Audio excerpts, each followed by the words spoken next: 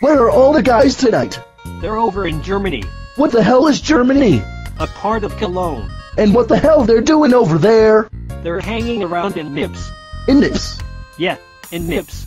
People say they are going for a place called Kuen. Kuen.